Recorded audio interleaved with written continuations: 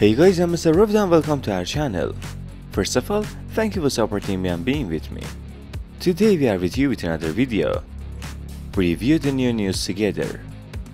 In the recent interview, the reporter asked Kerem, We have heard many times that you are in a competition with Can Yaman.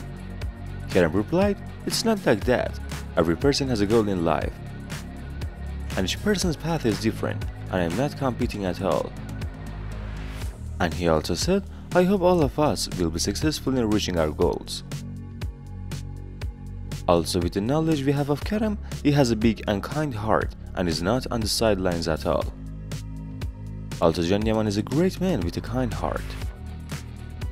Join us see new news. Be with us and give us your comments. If you like this prominent Turkish actor, be sure to watch these videos. I wish you all the best and now to another video. Peace out.